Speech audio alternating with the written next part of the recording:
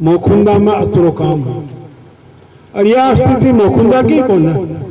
पूरा राजस्थान में, पूरा देश में, हर पंचायत की यह स्थिति है। काम घणो हो रही कभी कोई पहली कभी कोई काम हुए ही को ना। तो ही लोग बाग ज़्यादा ना पूछा, पर जो ही काम हो शुरू हुई हो। माननीय प्रधानमंत्री जी एक बात कह रहे हैं, कल लोगा में अब विकास की भूख जागी है। पहली तो कोई पूछा ही को ना तो स्कूल बनी कि ना बनी, स्कूल में कमरा है कल को ना। कोई खेबा वाला, ना कोई मांगने वाला। पर अब जूझू या प्रधानमंत्री जी दो हज़ार चौदह में आया, वसुंधरा जी दो हज़ार तेरह में वापस आया, ज़रूर लोगों में यह लगे नहीं, माँ का गाँव में भी स्कूल होनी चाहिए अच्छा कमरा होना चाहिए अस्पताल भी होना चाहिए पीबा का